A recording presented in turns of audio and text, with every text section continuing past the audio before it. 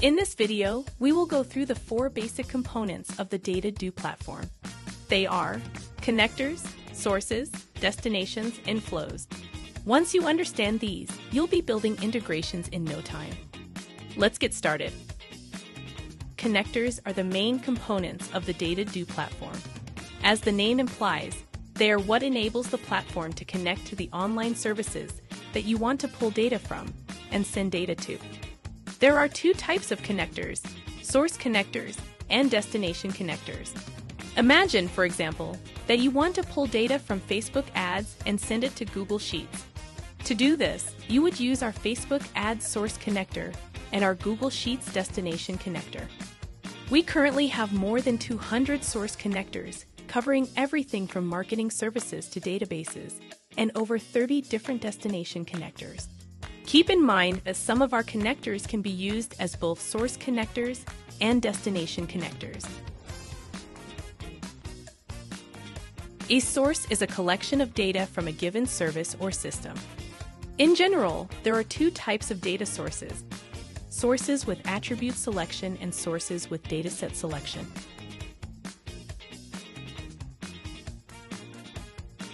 Google Analytics is an example of a source with attribute selection. When setting up this type, you are presented with all the metrics and attributes that an online service makes publicly available. You just choose your account, select the ones you need, and continue to the next steps. YouTube Analytics is an example of a source with dataset selection. When setting up this type, you first have to choose a dataset before proceeding with the configuration. Datasets are just collections of source data that have their own metrics and attributes. Destinations are the systems you send your data to.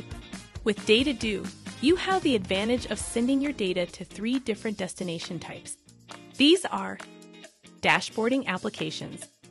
Examples include Google Looker Studio, Power BI, and Tableau. Data warehouses. Examples include Google Sheets, Snowflake, and Google BigQuery. Operational applications like CRMs and accounting tools. These could be any apps where business professionals spend most of their time, like HubSpot for sales or Exact Online for accounting and finance. A data flow is the connection between a data source and a destination.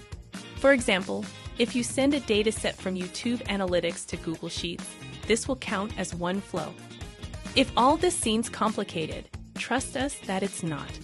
Let's give the components a quick review. When building a data integration, you'll start by choosing a source connector for the service you want to pull data from. It doesn't matter if it's a source with attribute or dataset selection. Then you'll pick a destination connector for the service you want to send data to. As we said, it can be a warehouse, dashboarding app, or any other operational tool. Once this is done, you've successfully built your flow.